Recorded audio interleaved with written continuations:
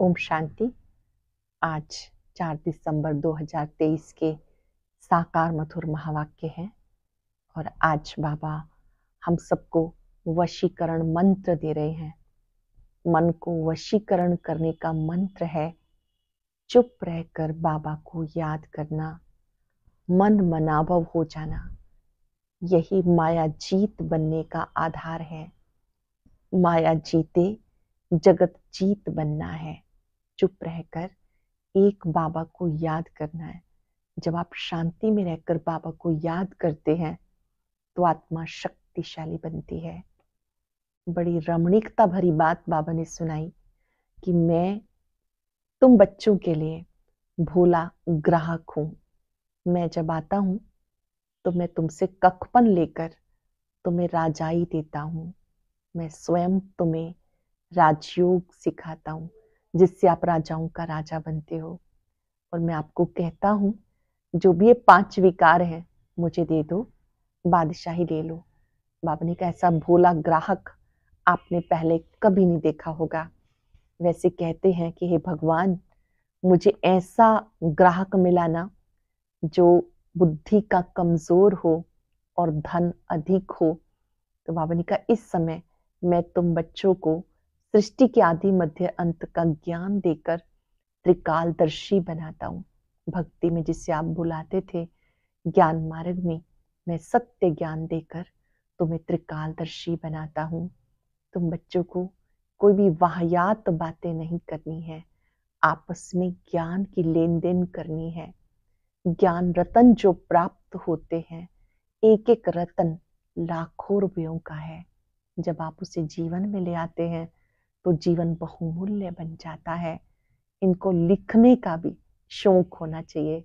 अर्थात अपने पास अच्छे अच्छे पॉइंट्स लिखो और जब कभी देखो स्थिति थोड़ी ऊपर नीचे है तो उन्हें रिवाइज कर लो। याद दिलाया बाबा ने, मैं तुम बच्चों का पिता, शिक्षक और सत्गुरु हूँ। भक्ति में तुम गाते थे तुम मात पिता हम बालक तेरे। इस समय में आकर तुम बच्चों की पालना करता हूँ, तुम्हें विश्व का मालिक बनाता हूँ। सुनते हैं बाबा के मधुर बोल। बाबा ने कहा, मीठे बच्चे, सतगुरु का सहज वशीकरण मंत्र तुम्हें मिला हुआ है। सतगुरु का सहज वशीकरण मंत्र तुम्हें मिला हुआ है। चुप रहकर माँ में कम याद करो, ये माया को अधीन करने का महामंत्र है। चुप रहकर माँ में कम याद करो। यही माया को अधीन करने का महामंत्र है। क्वेश्चन है, शिव बाबा ही सबसे भोला ग्राहक है। कैसे? शिव बाबा ही सबसे भोला ग्राहक है कैसे? बाबा कहते, बच्चे, तुम्हारे पास देह सहित जो भी पुराना कचड़ा है, वो मैं ले लेता हूँ। सो भी जब तुम मरने पर हो। तुम्हारे सफ़ेद कपड़े मरने की निशानी है। तुम अभी बाबा पर बलि चढ़ते हो। बाबा 21 जन्म के लिए तुम्हें माला माल कर देते हैं। अभी आप बलि चढ़ते हो। बाबा 21 जन्म के लिए माला माल कर देते हैं। भक्ति मार्ग में भी बाप सबकी मनोकामनाएँ पूर्ण करते हैं। ज्ञान मार्ग में भी सृष्टि के आदि मध्यंत का ज्ञान दे त्रिकालदर्शी बनाते हैं। गीत है भोलेनाथ से निराला कोई और नहीं, गौरीनाथ से निराला कोई और नहीं। ओम शांति। बच्चे भोलानाथ के सम्मुख बैठे हुए हैं। व्यापारी लोग कहते हैं, ऐसा कोई मत का मूरा, कम बुद्धि वाला भोला हो, जो हज़ार, दो हज़ार का माल लेकर हमें खूब धन देकर जाए। हे भगवान, हमें ऐसा ग्राहक मिलाओ। अब भोलानाथ बाप आकर बच्चों को आदि मध्य अंत का राज समझाए। त्रिकालदर्शी बना रहे हैं। आदि मध्य अंत का राज समझाकर त्रिकालदर्शी बना रहे हैं। मेरे जैसा ग्राहक तुम्हें कभी मिल सकता है? पूछ रहे बाबा। मेरे जैसा ग्राहक कभी आपको मिल सकता है? तुम उनको अर्पण करते हो। भक्ति मार्ग में बहुत महिमा करते हो। भोलानाथ की महिमा होती है। तुम मात पिता, हम बालक तेरे तुम्हारी कृपा से सुख घनेरे, वाकर राजयोग सिखाते हैं, राजाई देते हैं। बाप को कहते हैं, ये जो पुराना कचरा है, वो हम आपके ऊपर बलि चढ़ाते हैं। आप हमें इक्कीस जन्म के लिए माला माल करते हो? सराफ होते हैं ना, मट्टा सट्टा करते हैं, कमीशन लेते हैं। ये भी कहते कचरा जो भी है, देह सहित मैं तुम्हारा लेता हूँ, जब तुम मरने पर हो। यहाँ तुम ब्रह्मा कुमारियों के कपड़े भी सफ़ेद हैं, जैसे कि तुम मरे पड़े हो। आपके कपड़े भी सफ़ेद हैं, जैसे कि तुम मरे हुए हो। मरने वाले पर हमेशा सफ़ेद चादर डालते हैं, कोई भी दाग ना हो। इस समय सबको माया का काला दाग लग गया। इसको राहु का ग्रहण कहा जाता। चंद्रमा पर भी ग्रहण लगने से काला हो जाता। ये माया का ग्रहण सारे विश्व को काला कर देता है। इसमें तत्व आदि सब आ जाते। बाबा बैठ समझाते, ये तुम्हारा राजयोग है। राजयोग से स्वर्ग में राजाई प्राप्त करनी है। तुम राजाओं का राजा बनते हो। नारायणी नशा रहता है। नर से नारायण बन जाते। लक्ष्मी नारायण का राज्य होता है सत्युग में। ज़रूर मुझे अंत में आना पड़े। इस समय भक्ति मार्ग, भक्ति में तुम ढूंढते रहते हो। भक्तों का रखवाला है भगवान। भक्ति का फल आकर देते हैं। सब भक्त तो हैं, परंतु सबको एक जैसा फल नहीं मिलता। कोई को साक्षात्कार होता, कोई को पुत्र मिलता अल्पकाल के लिए। किस्म किस्म की मनोकामनाएँ पूरी करता हूँ। दुनिया में किसी को पता नहीं, भगवान आया हुआ है राजयोग सिखाने। समझते हैं कि वो द्वापर में आया, अब राजयोग सिखाया। कब राजयोग सिखाया, ये उनको पता नहीं। फिर वो नर से नारायण कैसे बन जाते हैं? अभी बाबा तुम्हें राजयोग सिखाते हैं, राजाओं का राजा बनाते हैं। यहाँ तुम्हें सिर्फ़ चुप रहना है। मन मना भव, ये सत्य गुरु का सहज वशीकरण मंत्र है। इस मंत्र से बहुत आमदनी है। ये माया को अधीन करने का मंत्र है। माया जीत, जगत जीत। भक्ति मार्ग वालों का है, मन जीते, जगत जीत। इसके लिए वह हठ योग आदि करते। सो भी जगजीत बनने के लिए नहीं करते। वह तो मुक्ति के लिए करते। बाबा आकर कहते, बच्चे दे सही दे के सब धर्म भूल, मुझे याद करो। मैं फलाने धर्म का हूँ, फलाना हूँ।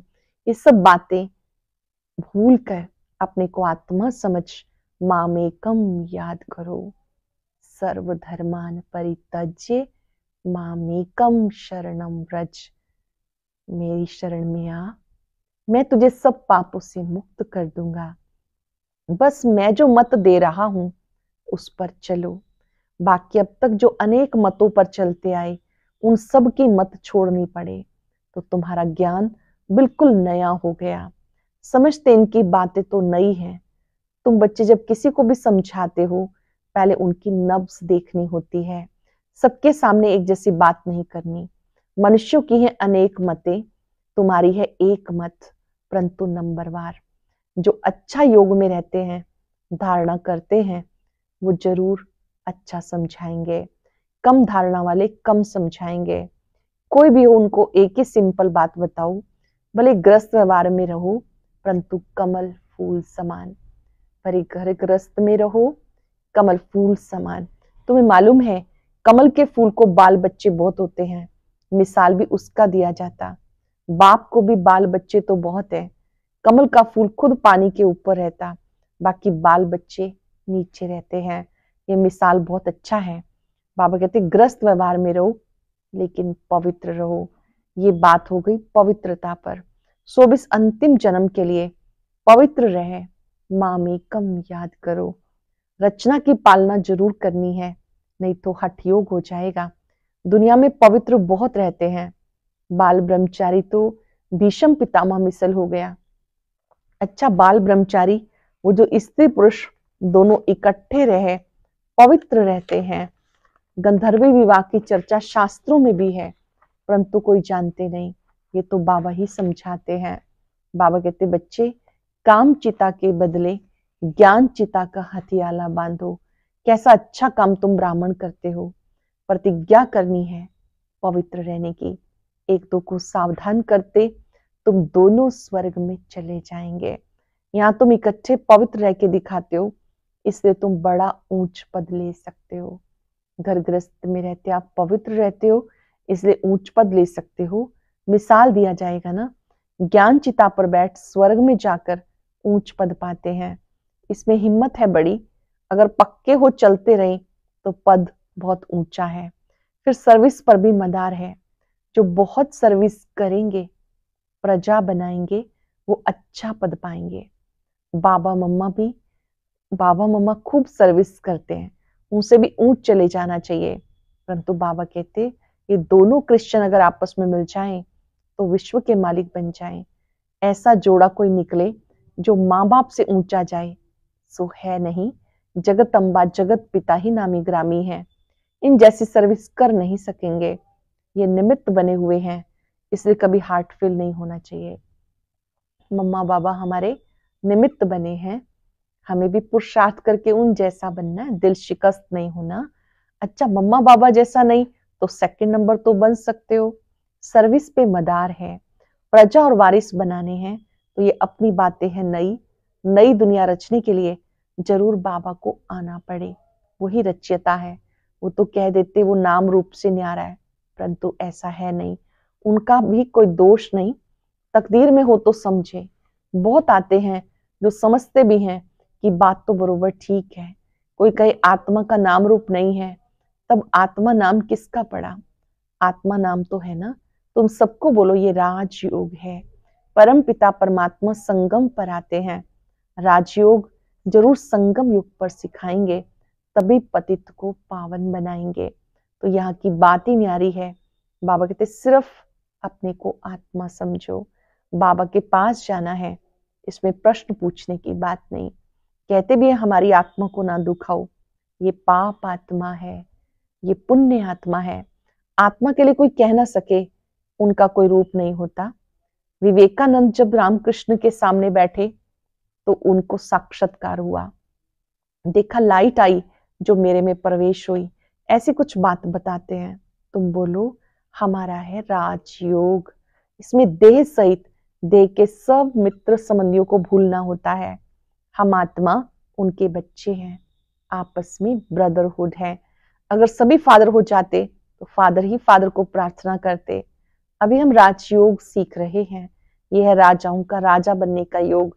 अभी तो राजा ही है नहीं तो समझाना है शांति में रहकर शिव बाबा को याद करते हैं। करेंगे पाँच सेकंड। शिव बाबा महाज्योति को चमकते हुए स्वरूप से देखें। उनसे निकलता प्रकाश मुझमें समा रहा है।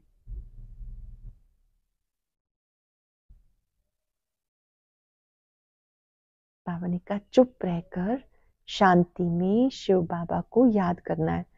अपने को शरीर से न्यारा समझते हैं।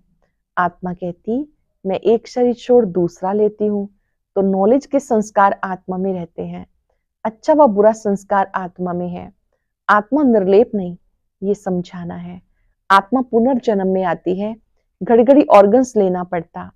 आत्मा स्टार है भ्रिकुटी के बीच में रहती है। आत्मा का साक्षात्कार हुआ तो उसने समझा, इनमें इतनी ताकत है जो मुझे आत्मा का साक्षात्कार कराया। अब आत्मा तो भ्रिकुटी के बीच में रहती है। साक्षात्कार किया ना किया, फ़र्क क्या रहा? आत्मा खुद कहती, मैं स्टार हूँ। मैं सितारा हूँ। चमकता हुआ शांति का सितारा मेरे में चौरासी जन्मों का पार्ट है। अगर चौरासी लाख जन्म हो तो इतने संस्कार हो, जो पता नहीं क्या हो जाए। चौरासी जन्म मान सकते हैं। चौरासी लाख तो मान ना सके। अभी हम पावन बन रहे हैं। बाबा ने हमें नर से नारायण बनने के लिए पवित्र बनाया है। ये बहुत अच्छा नशा चाहिए। तुम्हें कोई से भी डिबेट करने की दरकार नहीं। बहस आदि नहीं करनी। दे सही दे के सब धर्म, त्याग अपने को आत्मा समझना है और शरीरी बनना है। भले हमने शास्त्र आदि पढ़े हैं, परंतु डिस्कस क्यों करें? जबकि बाबा ने कहा मामेकम याद करो। और दूसरा फरमान है, ग्रस्त व्यवहार में कमल फूल समान पवित्र रहो। योग अग्नि से पाप नाश होंगे। भगवान वाच है, भगवान भी परमात्मा है, उनको भी स्टार कहेंगे। बहुत पॉइंट्स हैं। एक समय नहीं निकल सकते, आसामी देख के युक्ति से उठाना है। धीरे धीरे बाबा समझाते सारी बातें, आसामी देखकर युक्ति से उठाना है। बोलो, हम भी शास्त्र पढ़ते हैं। परंतु बाबा का फरमान है, सबको भूल मामे कम याद करो, वो है निराकार। आत्मा को तो सब मानेंगे, विवेकानंद वाले भी मानेंगे। आत्मा तो सभी में है, ज़रूर उनका बाप होगा, जिसे परम पिता परमात्मा कहा जाता। ये सब पॉइंट्स हैं। ये सिमरन करने से सदा पॉइंट्स मिलती रहेंगी स्टीमर भरता रहेगा। ये भी जैसे अविनाशी ज्ञान रत्नों का वक्खर भरता है। ज्ञान रत्नों की सामग्री भरती है। पॉइंट्स नोट कर रिवाइज करो। ये है रतन। इसे धारण करने और लिखने का बहुत शौक होना चाहिए। ये ज्ञान रतन है। इन्हें धारण करने का, लिखने का बहुत शौक होना चाहिए। अच्छी तरह से सबको समझाना है। आत्मा तो सभी में है। उसका नाम रूप नहीं है। ऐसे तो कह नहीं सकेंगे। आत्मा का रूप है तो परमात्मा का क्यों नहीं? उनको कहा ही जाता परम पिता परमात्मा, परम धाम में रहने वाला। कितना बच्चों को समझाया जाता तो अब सर्विस करके दिखाओ। बाबा तो सर्विस पे इनाम देते हैं। जो बच्चे सेवा करते हैं, बाबा तो पुरस्कार देते हैं। कितना श्रृंगार कराते हैं ज्ञान रत्नों का। हम यहाँ के पदम पति नहीं बनना चाहते। हमें चाहिए विश्व की बादशाही। हमें चाहिए भविष्य स्वर्ग की बादशाही। अच्छा मीठे मीठे सिक्के लदे बच्चों प्रति। मात पिता बाप दादा का याद प्यार, गुड मॉर्निंग। रूहानी बाप की रूहानी बच्चों को नमस्ते। रूहानी बच्चों की रूहानी बाप दादा को याद प्यार, नमस्ते, गुड मॉर्निंग। शुक्रिया बाबा, शुक्रिया। आज के सार से पहले मातेश्वरी जी के महावाक्य सुनेंगे। परमात्मा की सदगति करने की गतमत परमात्मा ही जानता है। तुम्हारी गतमत तुम ही जानो। अब ये महिमा किसकी यादगार में गाते हैं? क्योंकि परमात्मा की सदगति करने की जो मत है, वो तो परमात्मा ही जानता है। मनुष्य नहीं जान सकता। मनुष्य की सिर्फ़ इच्छा रहती है कि हमें सदा के लिए सुख चाहिए, मगर वो सुख कैसे मिले? जब तक मनुष्य अपने पाँच विकारों को भस्म कर, कर्म अकर्म ना बनाए, तब तक वो सुख नहीं मिल सकता। क्योंकि कर्म अकर्म विकर्म की गति बहुत गहन है।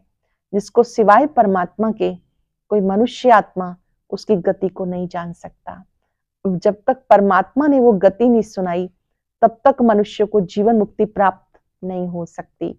जब तक परमात्मा ने गति नहीं सुनाई तो तब तक जीवन मुक्ति प्राप्त नहीं हो सकती।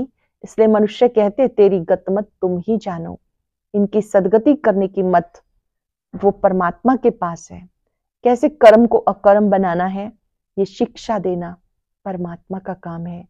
बाकी मनुष्य को तो ये ज्ञान नहीं है, जिस कारण वो उल्टा कार्य करते रहते मनुष्य का पहला फ़र्ज़ है, अपने कर्मों को सुधारना, तब मनुष्य जीवन का पूरा लाभ उठा सकेंगे। बहुत सुंदर बात मम्मा ने समझाई। सबसे पहले स्वयं को सुधारना ये हमारा काम है, तब जीवन का पूरा पूरा लाभ उठा सकते हैं।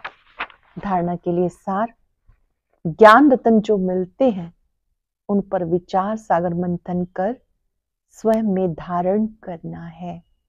ज्ञान रतन जो मिलते हैं, उन पर विचार सागर मंथन कर, स्वयं में धारण करना है। ज्ञान रत्नों से सदा भरपूर रहना है। अपने नारायणी नशे में रहना है। वाहियात बातें किसी से नहीं करनी। और अशरीरी बनने का अभ्यास करना है। ज्ञान रतन जो मिलते हैं, उन पर विचार सागर मंथन कर स्वयं में धारण करना है ज्ञान रत्नों से सदा भरपूर रहना है। अपने नारायणी नशे में रहना है वाहियात बातें किसी से भी नहीं करनी और शरीरी बनने का अभ्यास करना है। वेरी वेरी स्पेशल वरदान। दुआ और दवा द्वारा तन मन की बीमारी से मुक्त रहने वाले सदा संतुष्ट आत्मा भव। दुआ और दवा द्वारा तन मन की बीमारी से मुक्त रहने वाले सदा संतुष्ट आत्मा भव। कभी शरीर बीमार भी हो तो शरीर की बीमारी से मन को डिस्टर्ब नहीं करो। सदा खुशी में नाचते रहो तो शरीर भी ठीक हो जाएगा। मन की खुशी से शरीर को चलाओ तो दोनों एक्सरसाइज हो जाएँगे। खुशी है दुआ एक्सरसाइज है दवाई तो दुआ और दवा दोनों से तन मन की बीमारी से मुक्त हो जाएँगे। खुशी से दर्द भी भूल जाएगा। सदा तन मन से संतुष्ट रहना है तो ज़्यादा सोचो नहीं। तन मन से संतुष्ट रहना है तो ज़्यादा सोचो नहीं। अधिक सोचने से टाइम वेस्ट होता है और खुशी गायब हो जाती है। कभी शरीर बीमार भी हो तो शरीर की बीमारी से मन डिस्टर्ब ना हो। सदा खुशी में नाचते रहो। तो शरीर भी ठीक हो जाएगा। मन की खुशी से शरीर को चलाओ तो दोनों एक्सरसाइज हो जाएँगी। खुशी है दुआ एक्सरसाइज है दवाई। तो दुआ और दवा, दोनों से तन मन की बीमारी से मुक्त हो जाएँगे। खुशी से दर्द भी भूल जाएगा। सदा तन मन से संतुष्ट रहना है तो ज़्यादा सोचो नहीं। अधिक सोचने से टाइम वेस्ट होता है और खुशी गायब हो जाती है। बाबा ने बहुत सुंदर महामंत्र दिया। ज़्यादा सोचो नहीं, ज़्यादा सोचने से टाइम वेस्ट होता है, खुशी भी गायब हो जाती है। स्लोगन है, विस्तार में भी सार को देखने का अभ्यास करो तो स्थिति एक रस रहेगी। देह विस्तार है, इसका सार है ज्योति बिंदु आत्मा, उसे देखने का अभ्यास करो तो स्थिति एक रस रहेगी। आज हम वायदा करेंगे कि हम तन मन से स्वस्थ, संतुष्ट आत्मा है। कुछ भी हो जाए। शारीरिक व्याधि मन की खुशी को ना छीने। मैं तन मन से संपूर्ण स्वस्थ हूँ, रोग मुक्त हूँ।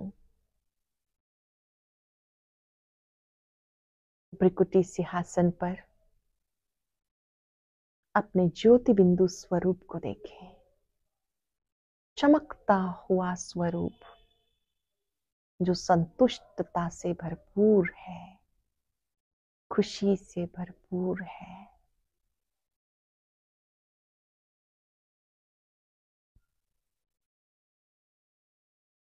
बाबा की पवित्र किरणें मेरे तन को भी स्वस्थ कर रही है। मन को दुरुस्त बना रही है। खुशी से भरपूर कर रही है। रोग की चिंता क्यों करें? आया है, चला जाएगा। खुशी मेरी संपत्ति है। मैं खुश हूँ, संतुष्ट हूँ। प्यारे बाबा, आपका शुक्रिया शुक्रिया। और अब सुनते हैं आज का अव्यक्त ज्ञान मोती